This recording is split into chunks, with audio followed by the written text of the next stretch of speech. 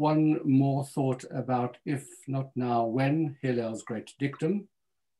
Uh, it applies as well to somebody who comes with a specific request for aid and assistance. Uh, King Solomon says in Proverbs, do not say to your neighbor, go and return and tomorrow I will give. So somebody comes for a favor or to borrow something or somebody comes for a donation, uh, one's not permitted to, one should not procrastinate and uh, deliberately make it difficult for the other person uh, because uh, one's concerned that if you're an easy touch, people will be coming to you all the time uh, and your life will become misery, etc. So you just try and put things off and you develop a reputation for being someone who is um, not so easy to tap and so people will stop coming to you. The Talmud tells a, a shocking story about Nahum, who was a great sage. He's riding on his donkey, which is laden with food and provisions, and a poor man appears on the road begging him for something to eat. So the sage says, Yes, yes, I'll give you something to eat, but just a moment, wait until I've unloaded my donkey. And so he gets off and he spends a long time because it's a big job to unload this heavily laden beast. In the meantime, the poor man who's asked for some food collapses and dies. So when you're confronted by challenges of this kind, you just don't know how time is vital uh, and if not now, when.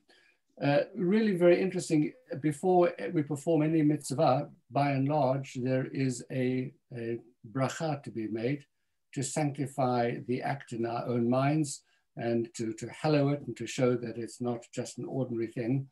Uh, and that applies pretty much to all of the mitzvot that we perform, but there's one notable exception, and there is no bracha to be recited before one gives tzedakah, before one gives charity.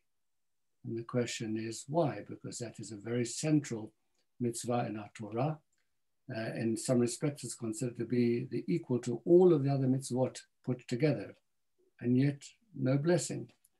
So one suggestion is that uh, imagine the following. Uh, a poor man knocks at our door and he asks for a gift of money or some, uh, some food.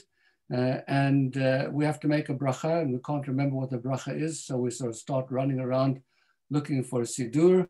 Uh, and when you find your siddur, you can't remember what page it's on. So you start to page, page through it, leaf through it, etc., until you find the proper bracha. Uh, and if you're a little bit more pious and frum, you suddenly decide, I need to wash my hands before I recite a blessing. Uh, so off you go to wa wash your hands. And then you come back and you think, well, I didn't do that properly. I think I need to go and wash my hands again. And so, and repeat all in the meantime, in the meantime, this poor man who's come and asked for food might have perished on your doorstep. So the sages said, you don't mess around making blessings and being pious when a fellow human being is asking for your help. You just get on and do it. If not now, when?